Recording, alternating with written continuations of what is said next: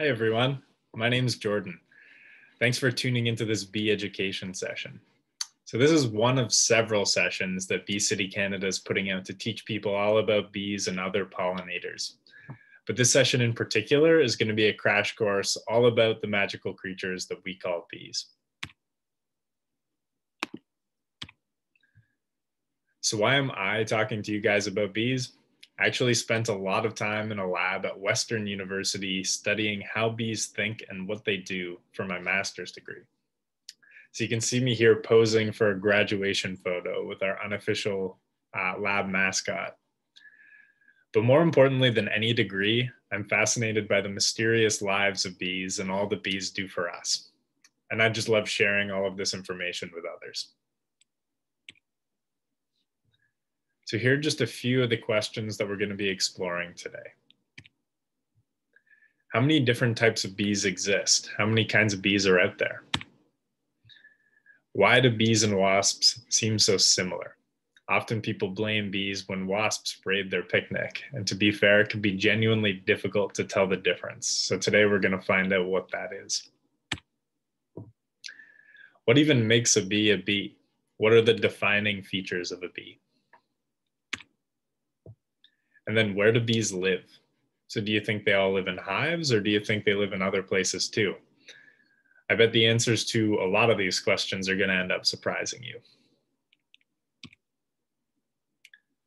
So before we dive in, just a little bit about the session. I want to make sure this session is as interactive as we can possibly make it. So teachers, I'm going to ask you to pause the video every once in a while. Uh, there's going to be some time to chat as a class. There are going to be some drawing exercises. So make sure that you've got a paper and pencil handy. And if you've got pencil crayons, even better. And then there's also going to be some trivia spread throughout. But first, before I tell you anything about bees at all, I want you to reflect on what you already know about bees. So I want each of you to take a minute or two and draw what you think a bee looks like. And then once you've done that, feel free to take some time as a class to compare drawings and talk about what you think a bee is. So I'll let your teacher pause the video here and then start it back up once you've had a bit of time to, to draw your pictures and discuss. So I'm just gonna wait a few moments here before moving on.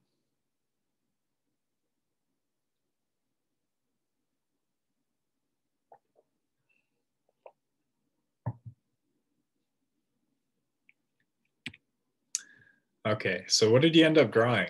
Maybe you thought of something like this fluffy bumblebee here. Maybe you thought of the more slender looking honeybee like this bee here. Or maybe you even thought of our good friend Barry from Bee Movie. But whatever you thought of, I'm gonna go out on a limb and guess that it had black and yellow stripes. That's not actually the case for all bees. Bees come in all kinds of colors, patterns, shapes, and sizes. There's of course the yellow and black honeybees or bumblebees that you likely thought of, but even among bumblebees, there's so many different kinds. Some have red patches like the red-tailed bumblebee you see here. Some have white patches like the white-tailed bumblebee. And then some have orangish patches like this rusty patched bumblebee you see here. Some bees are actually metallic green. So this is a type of sweat bee that goes by the fancy scientific name of Agapostemon virescens. And this bee has actually been named the official bee of Toronto. And it's not too hard to find either. Uh, I have a pretty small garden at home and I see lots of them flying around all summer carrying little balls of pollen on their legs. So this is a wool carder bee. It's black and yellow but as you can see, there's no stripes on it. Instead, it has these little yellow dots on its back. This is another bee I see in my garden pretty often. And another cool thing about this one is the way it flies. So unlike a bumblebee, which you might see kind of meandering around through your garden, going from flower to flower, looking a little lazy, uh, this bee actually kind of zips around. It looks a little like a hoverfly the way it moves you'll see it one second and then the next second it'll just be in a totally different place in the blink of an eye. And as you can see here, bees come in a super wide range of sizes. So these are the smallest and the largest bees of North America. On the left here is a bee from the Perdita family. It's known as the fairy bee. It's only like two millimeters long. It's tiny. Uh, and then on the right is the largest carpenter bee. And this bee sizes in at a whopping inch long. You can see it's sitting on a quarter there. So it's about the size of a quarter.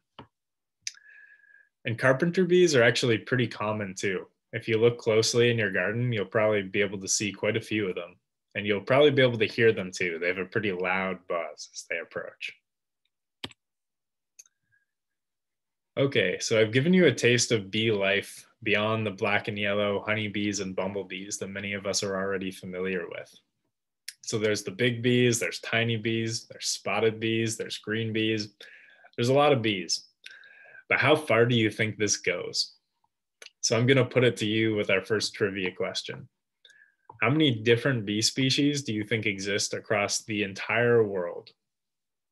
A, 50, B, 200, C, 5,000, or D, 20,000? What do you think? So I'm going to pause here for a moment just to give you some time to think. But if you want even more time to think about this and talk as a class, feel free to pause the video. Then once you're ready, our bee friend you can see over in the corner here is going to fly down and show us what the answer is. So I'll just give you a moment here.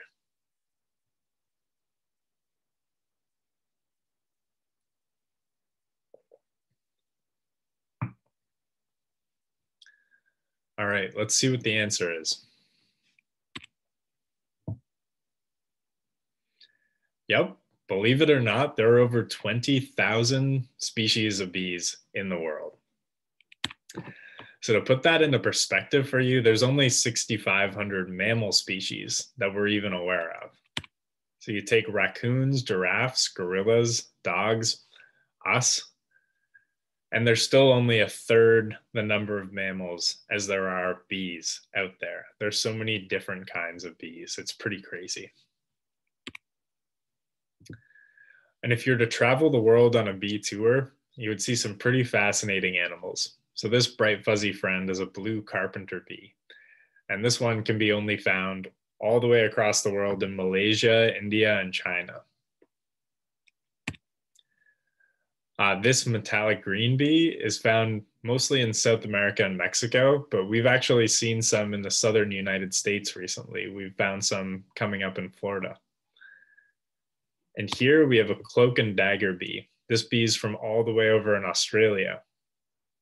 And this bee is actually what's known as a cuckoo bee, which means that this little sneak actually lays its eggs in the nest of other bee species so that it doesn't have to feed the growing babies itself. It just flies away and lives its life after that. It's crazy. But let's think for a moment just about Canada. How many different bee species do you think have been spotted just within our borders? A, 250, B, 500, C, 800, or D, 1700? So I'll give you a moment to think, and then our bee friend is going to fly down again and show us what the answer is.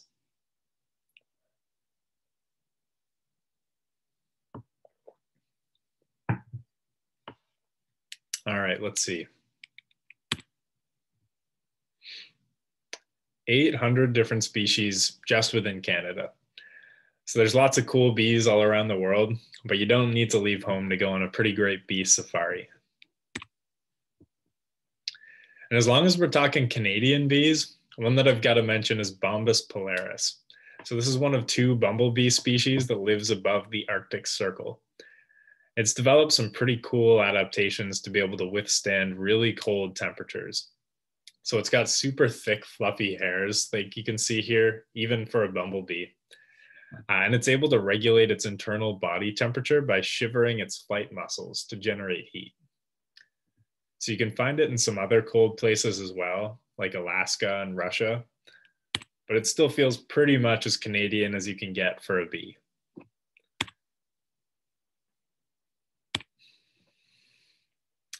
Okay, so now you know that there's all kinds of different bees, but where do they all live?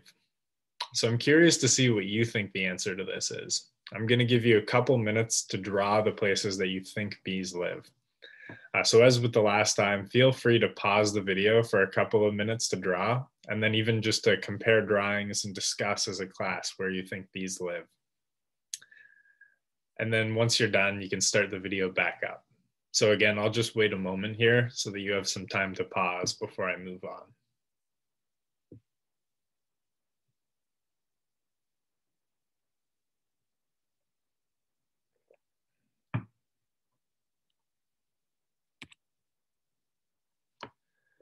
So maybe you drew something like this, the classic yellow hive you see dangling from trees in cartoons. Or maybe you took a more realistic approach and drew something more like the honeycomb that you see honeybees constructing hives out of. Or maybe you knew that honeybees often build their hives inside trees and you drew something a little bit more like this with bees coming in and out of a hole in the tree to get to their hive within it. But maybe you went beyond honeybees entirely. Maybe you thought of a bumblebee nest, which looks much less organized than a honeybee hive. You can see in this picture, they've got little wax pots to store the nectar inside of instead of honeycomb. Or maybe you've seen these big carpenter bees going in and out of holes in the wood of a shed or a deck. And you thought of something like this with a little hole there and the bee popping its head out of. Or maybe you're familiar with bee hotels that are composed of these hollow tubes. And he thought of bees popping in and out of these hollow tubes, kind of like these little guys over here. Probably the least likely, but maybe you even thought of a hole in the ground that bees live in. But all of these are actually places that bees live. Well, I guess except maybe not for the cartoon hive. So that brings us to our third trivia question. I just showed you that some bees nest underground, but do you think this is common or uncommon? So give it a guess. What do you think? What percentage of bee species nest underground? A, 5%, B, 16%, C, 53%, or D, a whopping 70% of bees nesting underground. So I'll give you a second here to think.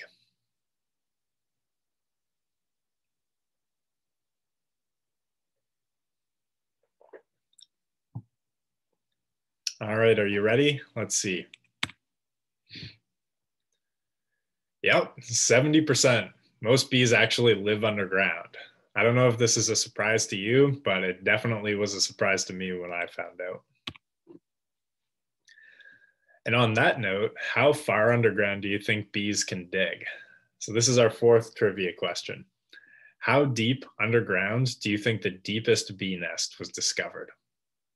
A, one foot underground, B, three feet, C, nine feet, or D, 12 feet down. So that's twice my height. And as you're guessing, keep in mind how small the typical bee is. So I'll just give you a minute here again.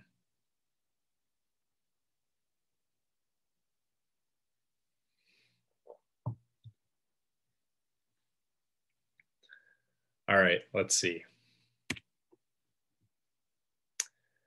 Nine feet. Does that seem deep to you? Well, a little bee digging a hole this deep is actually the equivalent of a six foot tall person digging the length of four football fields straight down into the earth. And bees don't even have shovels like this guy. So it's pretty insane if you ask me. Okay, so now we've busted the myth that all bees live in hives. But who do you think bees live with? Do you think most species live together in large groups, like the honeybees that we see in this picture here? Or do you think most bees live alone? So go ahead and give it a guess. How many species of bees do you think live alone? Do you think A, 90% of bee species live alone?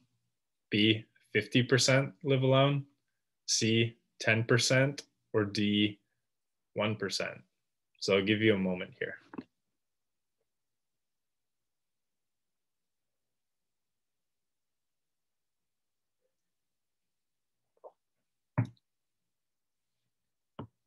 All right, let's see.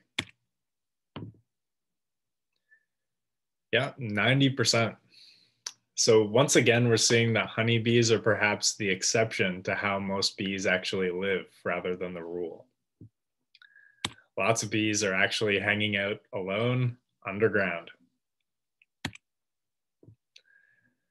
So there's a few key things I want you to take away from this first section here. One is that there are thousands of different bee species. So over 20,000 bee species if we want to be more exact. Two, not all bees are black, yellow, and striped. So they actually come in all kinds of different colors, patterns, shapes, and sizes, many of which we've seen here in this first section.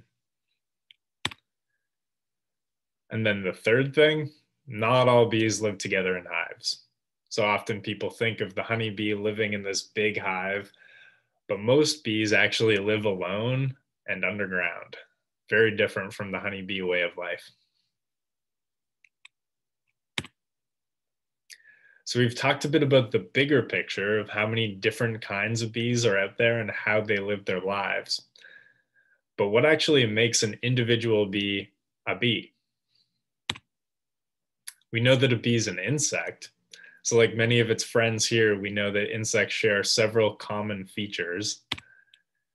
So because it's an insect, we know that it has a three-part body. So it has a head, it has this middle part called the thorax, which its uh, wings and its legs are attached to.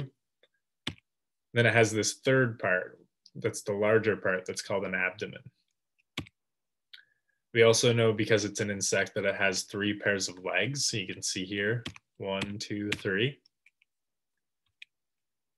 We know that it has two antennae, those little things up on its head that it uses to sense its environment.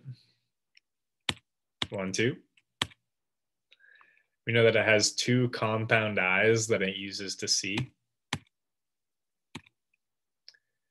And we also know that it has an exoskeleton. So that basically means that its skeleton is actually on the outside of its body. So it's kind of like if we all had a coat of armor on covering our skin that kept our organs and our more squishy parts covered and protected. So those are all characteristics that are generally shared by insects. But that doesn't tell us how we can differentiate bees from other insects, especially these ones here, the wasps and the flies. So often wasps and flies can look pretty similar to bees. In fact, let's see whether you're able to even tell them apart. So we've got four insects here. All of these are either a bee, a wasp, or a fly, but only one of them is a bee. Uh, I wonder if you can tell which one is the bee, A, B, C, or D. So I'll give you a moment to decide here which one of these you think is a bee, and I'll just pause for a moment to let you think.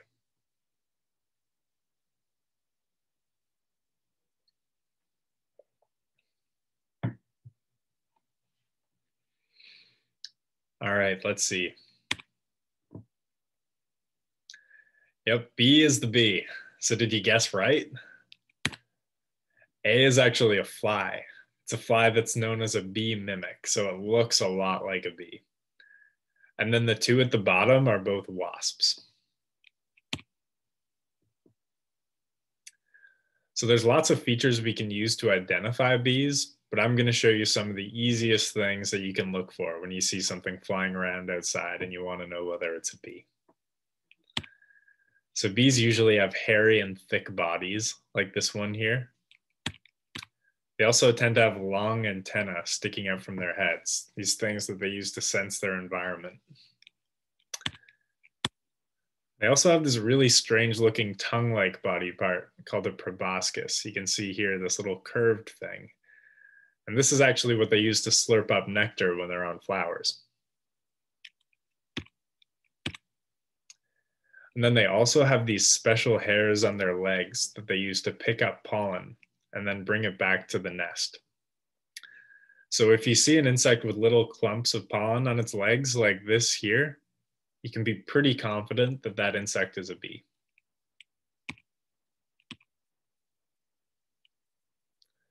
But here's a couple indicators that the insect you're looking at is actually a fly and not a bee. So if it has these really big front facing eyes that seem to meet in the middle, like these here, you're probably looking at a fly.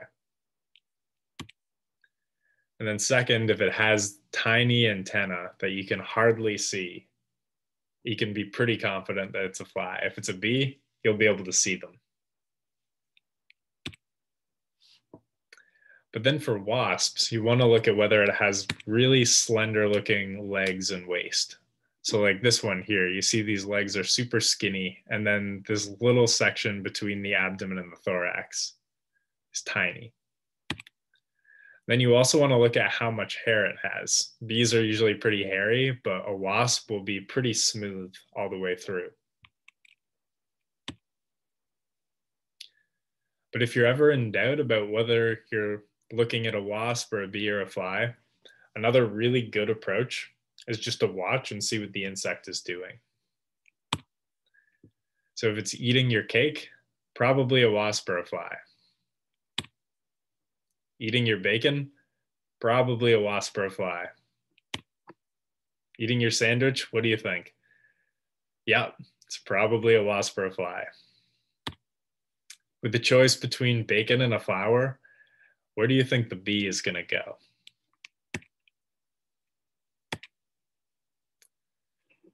Yep, you guessed it. The bee is going to go to the flower. And that's because pretty much all bees are vegetarian. So they gather pollen and nectar from flowers. They gather the pollen as their source of protein, and they gather the nectar as their source of uh, carbohydrates. Wasps and flies will eat pollen and nectar too, but they don't eat them exclusively. It's not the only thing they'll eat. They'll eat all kinds of things, including bacon. So you're likely to see these guys crashing your picnic, but probably not a bee. But maybe you're wondering if bees and wasps are so different, why do they look so similar? And it's a really good question. There's actually a really good reason for it, and it makes a pretty cool story. So, this is a story I'm going to share with you.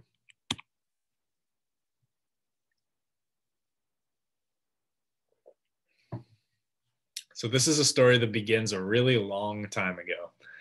We're talking the dinosaur days long ago. So I want you to try to mentally transport yourself 150 million years back to the Jurassic period when dinosaurs roamed the earth and there wasn't yet any sign of a bee.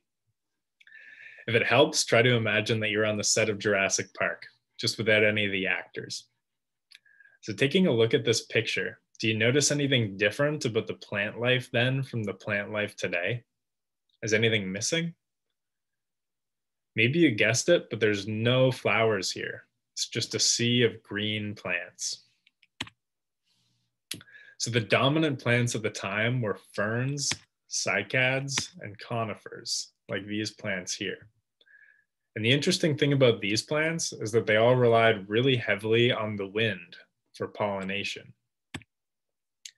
So instead of having insects move the pollen from plant to plant, the majority of plants at this time produced a huge amount of pollen, like this one, and let the wind carry it away, hoping that some of those tiny pollen grains would eventually be carried to another plant of the same species, fertilizing it, allowing it to develop seeds and produce baby plants. So this is obviously a much less uh, much less efficient approach uh, than having animals like bees move the pollen from plant to plant bringing small amounts to the correct place every time. So most of the pollen from these wind pollinated plants wound up falling back to the ground wasted, not even reaching the plants that it was intended to reach. But before pollinating insects, what else was there for plants to do? So these roots here might look a little bit like legs, but it's not like the plants could start walking and deliver the pollen to other plants themselves. But eventually, over 130 million years ago, the first flowers did appear. But they weren't the colorful, fragrant ones that we know today.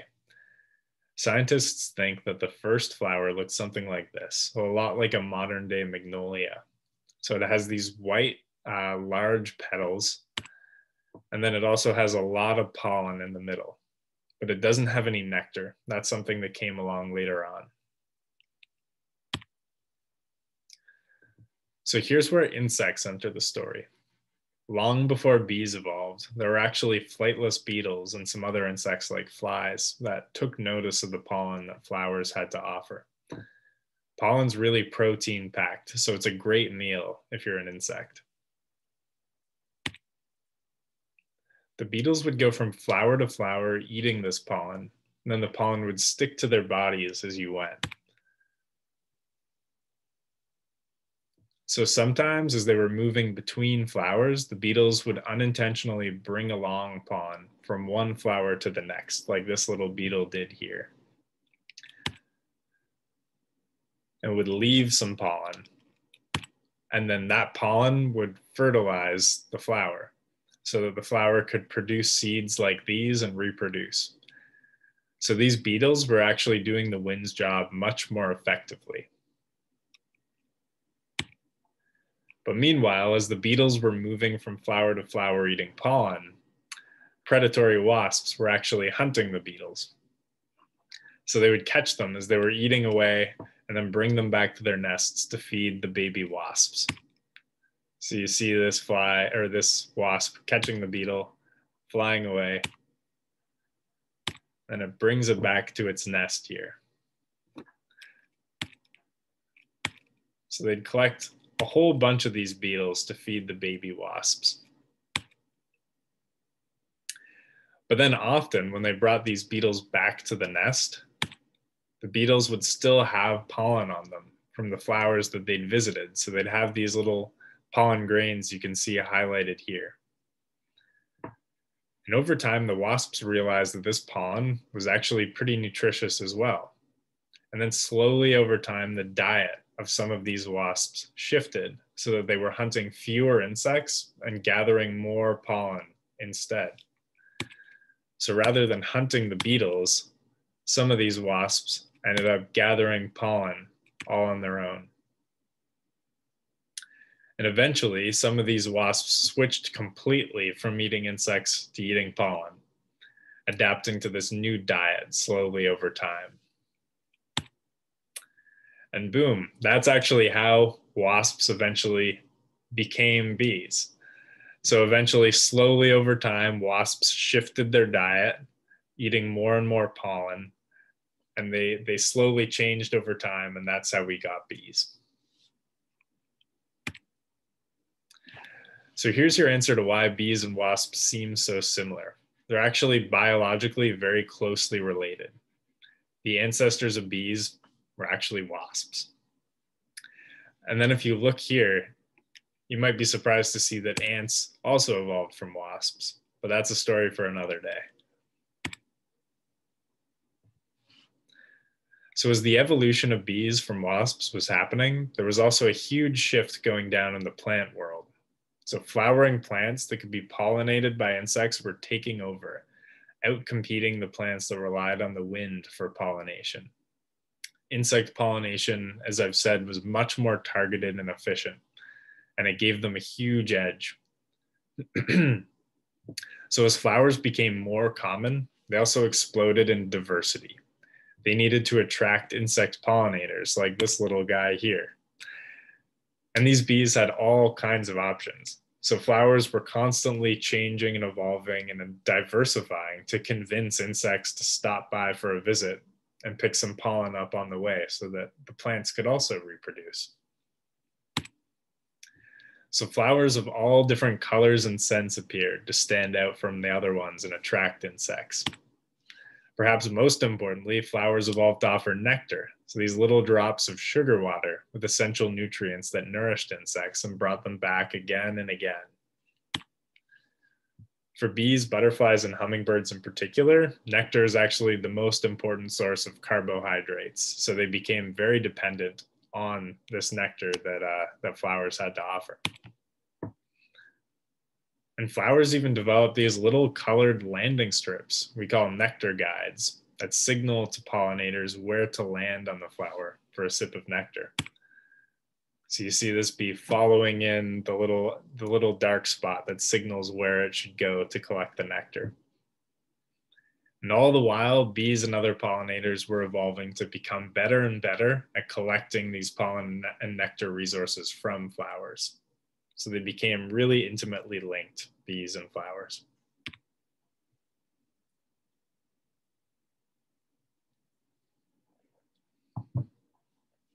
So let's go back and test your knowledge to see if you still remember some of the key features you can use to identify a bee. So which, which two of these four features are defining characteristics of bees that we talked about earlier? A, a short antenna. B, pollen collecting hairs. C, a thin waist and legs. Or D, a tongue-like proboscis. Uh, and as you're answering, try to think which of these things might help a bee to collect pollen and nectar from a flower? So I'll just give you a moment here to guess.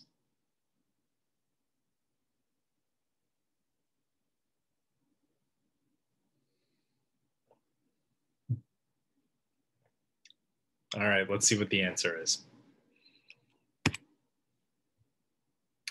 So if you guessed B and D, you're right. So maybe these features make a little bit more sense now after that story. Bees have a tongue-like mouthpart called a proboscis so that they can easily drink nectar from flowers. And they have these hairs on their legs to help them easily gather pollen that they can bring back to the nest. So it all makes sense. It helps them collect the food they need to survive.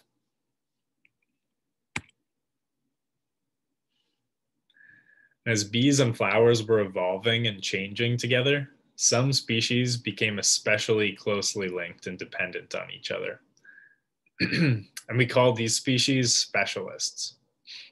So take this bee here. This bee is known as a squash bee. And its life basically revolves around the squash plant. So it emerges from hibernation in late spring or early summer. At the same time, the squash plants are flowering and have nectar and pollen for them to eat. They wake up in the morning just as uh, the squash flowers are opening up to make sure that they can get breakfast in time. They have hairs on their legs that are well adapted to pick up the relatively large pollen grains of squash plants so they can bring it back to the nest. And then male squash bees even sleep inside the squash flowers as the flowers are closing in the afternoon to protect them from the, the heat of the afternoon. So clearly the squash bee is super dependent on the squash plant for its survival. But then on the other hand, the squash plant needs the squash bee too. So because squash bees focus exclusively on squash plants, they're particularly good at picking up pollen from them and transferring it from one plant to another. So they're not making stops on all kinds of other flowers and leaving the pollen there, only the squash plants. So the squash bees play a critical role in making sure these plants are fertilized so that the squash plant grows, then new seeds are created to keep the squash life cycle going year after year. So we've got specialist bees that are highly dependent on a particular plant for survival, but then we also have generalists. So these are bees that aren't so picky and they'll collect pollen and nectar from all kinds of flowers. So honeybees are a prime example of a generalist bee. They'll go pretty much anywhere that there's pollen and nectar that they're able to access.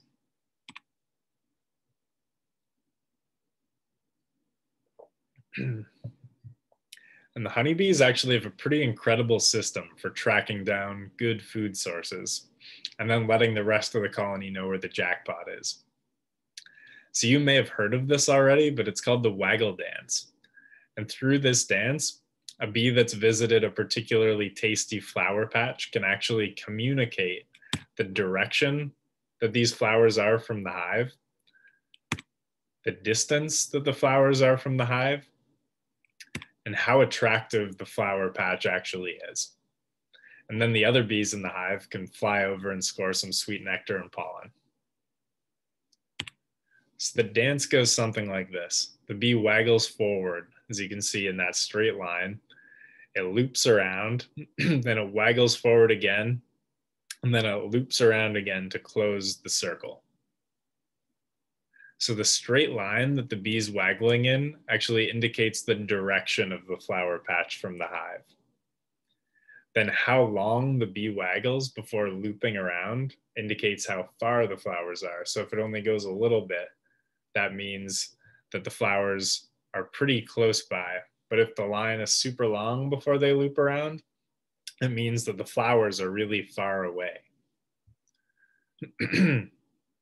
and then how intensely the bee's waggling back and forth. You see it does this as it's going up on that line.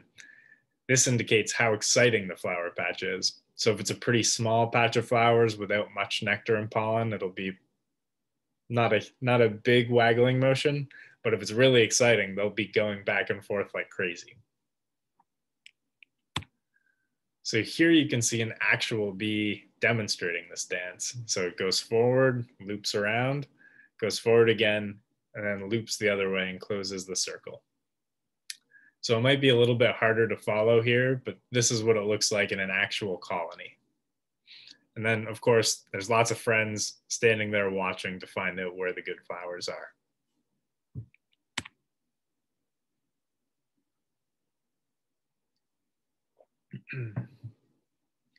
okay, so it's probably extremely clear at this point that bees and flowers are very closely linked.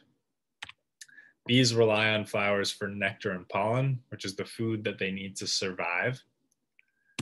And then flowers rely on bees to move their pollen from one plant to another, allowing them to produce fruit, set seed, and ultimately create new plant babies that keep plants living on through the generations. But guess who's dependent on both bees and flowers? You probably guessed it, but the answer is us. So bees and flowers keep our grocery stores stocked. Bees pollinate the flowers that produce the fruits that we harvest for ourselves to eat. So think apples, blueberries, strawberries, watermelon, peaches, cherries, almonds, pears, the vanilla that flavors so many of our desserts, the coffee that keeps us or maybe your parents awake, tomatoes, or perhaps more important to some, ketchup. All these things come from plants that require insect pollination. And all of these things are only a small sample of the foods that do. And because bees are involved in producing so much of the food that we eat, and of course, just because they're really fascinating animals, it's concerning that we've seen some pretty widespread declines in their populations over the last few decades.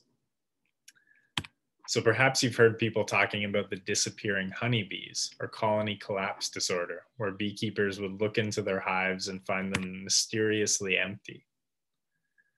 Honeybees are often in the news because they're super important to food production, but they're only a single species of bee, and bee declines go well beyond honeybees. Right, we learned that there's over 20,000 species of bees, and we're also seeing declines in all kinds of these wild species as well. And the thing about these bees is that they don't have the privilege of a beekeeper uh, to monitor their health. So a lot of these bees really just have to fend for themselves. So the question is, why are these bees declining?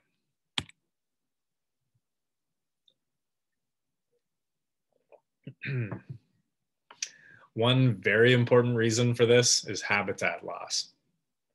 So we've turned a lot of the world's land into farmlands to grow the food that we need to eat. But that leaves much less room for the flowers that bees rely on for their food. And it also gives them less space to build their homes in. Uh, sometimes the crops we grow on farmland do provide bees with pollen and nectar, but uh, the plants may only be in bloom for a few weeks of the year, meaning that bees in that particular area might not have much else to eat for the rest of the season once those crops have stopped blooming or offering nectar and pollen. Another reason is pesticide use, which is actually something I've done research on myself. Uh, farmers use pesticides on crops to prevent uh, unwanted insects from eating our food as it's growing, which makes sense. But unfortunately, using pesticides often unintentionally harms the bees that are dropping by to, to feed on these plants for nectar and pollen. Sometimes pesticides will kill bees outright, depending on the type of pesticide, but usually they have much more subtle effects. They'll build up over time, slowing down the bee's movement making bees less able to learn about which flowers are offering a valuable food reward so that the bee colonies will collect less food over time and then they won't be able to feed as many new bees and keep the populations going. More recently, we've also been learning about the effects of climate change on bees, right? So the world is getting warmer, but bees aren't shifting north at the same rate the climate's been heating up. So as a result, the habitat range for many of these bee species is actually getting smaller. And then all of these things I mentioned make bees weaker and less able to fend off parasites that occur in the environment. So it's kind of like when we get sick. If we're healthier, we're likely to be able to fight off the cold or the flu more easily. Same goes for bees. If they have like a diverse pesticide free diet then they're better able to protect themselves from parasites and pathogens that occur in the environment.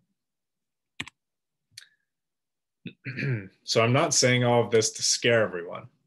I'm saying it in the hopes that it'll motivate some of you to take action and do whatever you can do to make things right. And there's really a ton we can do as individuals to help. So, one of the best things that we can do is plant flowers right? Think about it. If your friend was hungry, what would you do? Probably you'd give them a snack. That's the exact same thing for bees.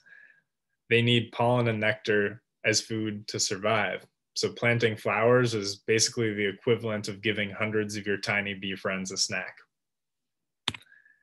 So you could turn your entire lawn into a garden. It would look awesome and it would probably be a fun and rewarding project, but you don't need to go that far even just growing a single lavender plant in a pot outside is a great first step.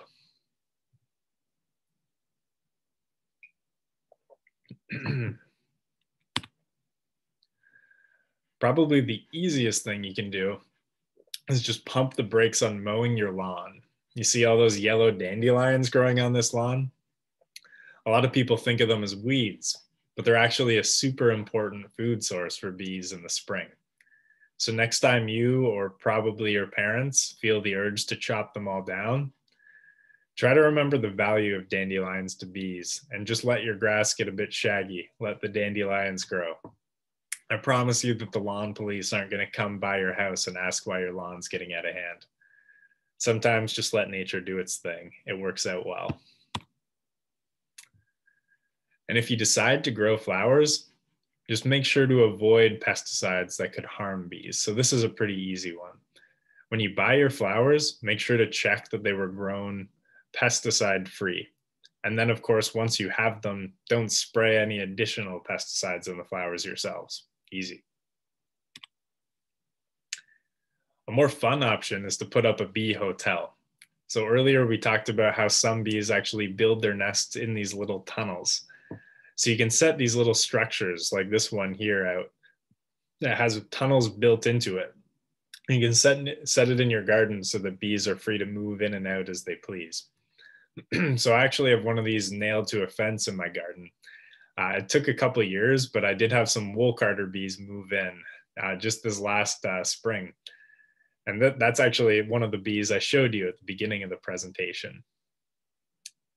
Uh, so it's super cool to watch them kind of zipping in and out of these little tunnels and seeing what they do throughout the season. Another fun option is that you can help to track bees. So next time you're on a walk or in your yard and you see a bee, just try to snap a picture or two of it. Then you can upload that picture to a website called the Bumblebee Watch. And an expert there will be able to help you identify what species that is. So doing this actually helps scientists understand which bees are occurring where all over North America. It helps us track bees and understand what the populations are looking like so we know what to do. But perhaps most importantly, is try to maintain a sense of wonder for all the animals and plants that we share this earth with. Learn about all the fascinating creatures on Earth and the many different lives that they live, the unique things they're capable of doing, and share this passion with others. Because when we understand and appreciate other animals for what they do and who they are, we have a tendency to be nicer to them or nicer to things that we understand. So I'd like to leave you with a quote from David Suzuki, who's perhaps the most well-known environmentalist in Canada. You probably heard of him. So he says, there's no environment out there separate from us. The environment is embedded in us. We're as much a part of our surroundings as the trees and birds and fish, the sky, water, and rocks. So we often talk about protecting the environment or protecting the bees as if they're something separate or removed from us, something that we should feel obligated to do something about. But in reality, humans are also a part of the ecosystem. And to have our needs met, we need to make sure that the needs of the plants and the animals that we depend on are met too. So I wanted to leave you with that message because I think it's it's really the most important message of all. If we want to help the bees stop climate change or help any other animal on earth.